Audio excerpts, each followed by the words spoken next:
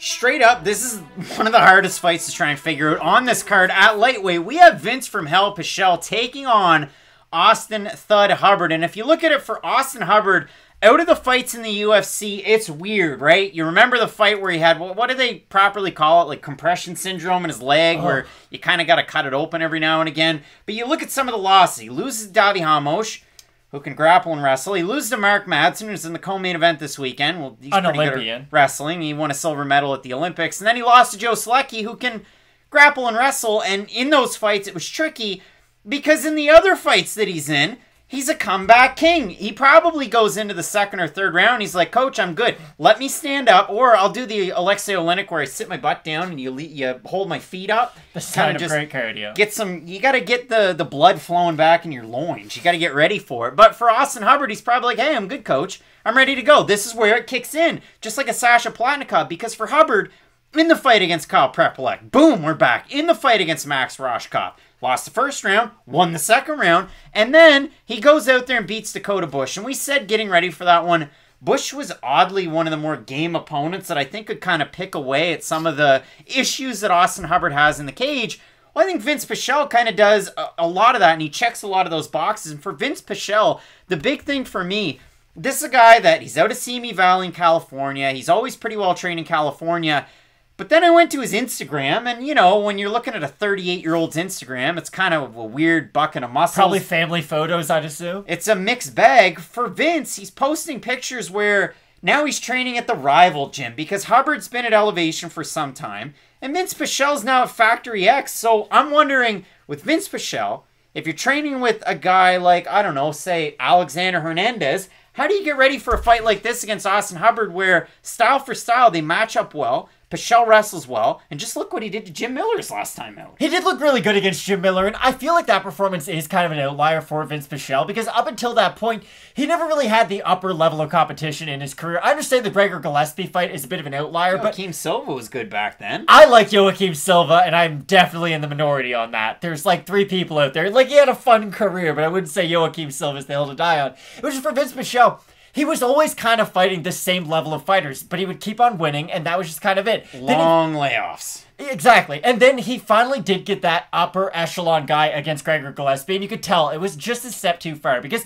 Vinc Pichel, he does fight a little bit like Al Iaquinta to where, like, I've got good stand up, but my stand up's only good if you're a primary wrestler, and my wrestling's good, but, like, against other wrestlers, I myself can kind of get out wrestled. That's what we saw against the Gregor Gillespie in that fight. He just never could get a striking going against Gillespie, and then once Gillespie was dedicated to those takedowns, you could tell that Pichel, A, just being at such an advanced age, he just couldn't really keep up with the younger Gregor Gillespie. His last two times out, though, against Roosevelt Roberts, listen, if you're going to beat Roosevelt Roberts, that's how you're going to beat him. You're going to take him down. And that was the start of kind of like, hey. What's, what's, the provincial and state park called? Roosevelt. Exactly. Got I, him. I thought Jon uh, Anik always said Roosevelt. My bad. So for Roosevelt Roberts, again, I felt like that fight very much was a stylistic. It was a very favorable matchup for Vinc Pichel because all it was was I get to shoot takedowns and throw power punches on the outside, and that's pretty much his bread and butter. This fight, more than any, does come down to cardio, and I know that's a bit of a cop out because we say this all the time with Austin Hubbard fights, but like his cardio's that good. If fights if fights for 10 rounds, Austin Hubbard's record would not be 13 and 5. I'm going to tell you this. I'm, I'm talking to you. If you're in your car, if you're on the airplane, if you're hanging out, studying tape at home,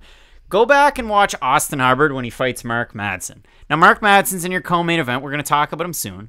Mark Madsen has an issue with third rounds, and Austin Hubbard beat an Olympic silver medalist with his defensive wrestling and his cardio in just the third round. And the good thing about Austin Hubbard too was we were talking about Bea Malecki as to where she's good at striking with range, but then once you do get on the inside, she just kind of struggle. Austin Hubbard gets a lot of his work done at range, but when guys do collapse that distance on him, he does have good attacks going up the middle. He does have a really good flying knee. He does have just good knees in general, and that was something you started to see in that Mark O. Madsen fight was, okay, as Madsen gets a little bit more tired, that's when Hubbard was pulling it on.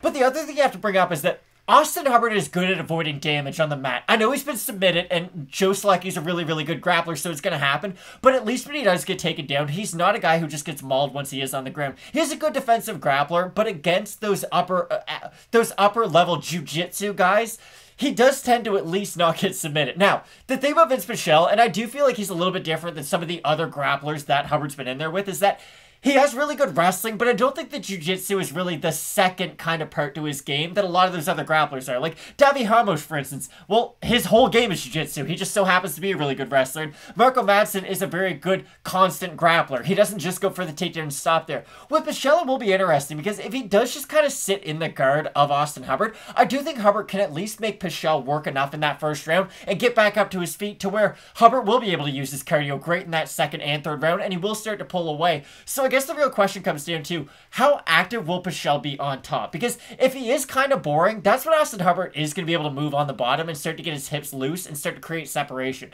Because Pichel isn't that top tier kind of submission, I guess, submission threat. So Hubbard can kind of give his back when he goes up to his feet. He can do a lot of things that you wouldn't normally see in his fights because I don't think he's going to be worried about the submission threat with Pichel like he has been against some of his other guys. So again, for me, this fight comes down to not only the cardio of Hubbard, but how active will Pichel be in that top position. Vinc Pichel's last wins by submission back on the Ultimate Fighter season 15 against John Cofer and Cody Pfister. Pfister, Matt. In this fight, again, it all comes down to what game plan does Vinc Pichel have now out of Factory X? I think it's a great connection and a great way to get ready for a fight like this all sorts of important training partners. We talked about it with Hernandez, but guys like Youssef Zalal and so on and so forth. A lot of interesting guys there. You know exactly what you're going to get out of Austin Hubbard. 58% takedown defense, too, in the UFC for Hubbard. You don't love it. It's only 20% for Pichel, but again, he can win out in a lot of those scramble situations. You're going to take a negative hit against a guy like Gregor Gillespie, and He's able to get 3.83 per 15 minutes himself. That's absolutely insane. When I look at a fight like this, when I drop my notes, Austin Hubbard open a plus 140. He's a minus 110 right now. Those odds are at par. Pichel open a minus 160. He's now at a minus 112. Matt, odds closing in on par. We'll have a look at Tapology. We haven't seen the votes. There they are, 1,137 total votes, 75% Pichel, 88% by decision. For the 25% that have Hubbard, 76% by decision. Both these guys are decision machines. I know the Rohskopf fight, it was a lot of damage, and those leg kicks were great, and Hubbard was able to win. Surprised he would even throw leg kicks based on the compartmentalization syndrome. I like Hubbard in this fight. I know the way that we set it up. I think Pichel can come in with a great game plan. He could surprise me because I don't agree with the voters, I guess. So I'm kind of in a weird island that I'm on right now. It's Catalina Wine Mixer. Are you there too? No, I agree 100%. I think 35 year old Vinc Pichel could have at least made this fight a little bit competitive, but at a certain point, we do have to bring into consideration the fact that Austin Hubbard's nine years younger than Vinc Pichel, and Austin Hubbard has great cardio for a guy who is 29. Like, I just think it, we've kind of seen this fight almost play out before, and I finally feel like this is the wrestler that Austin Hubbard will finally get over. He's starting to do a little bit better against him. We saw glimpses of it in that Madsen fight. I do feel like he's finally going to be able to get over that hump of, I just kind of lose to wrestlers every time out there. Interesting fight. Dakota Bush was able to get one of his total of six takedowns in his last fight. And then for Austin Hubbard, one of one. He had six minutes and 42 seconds of control time in that fight. Both of us going with Thud. Austin Hubbard to get the win. Let us know down below in the comments section who you have. You're not going to want to miss question mark kicks two hours live before the prelims where we offer up our final picks and predictions after the weigh-ins. And keep it locked in because we got a lot of great stuff coming down the pipe. So as we always say, Matt, with Fight Night picks, let's, let's get, get, into, into it. it.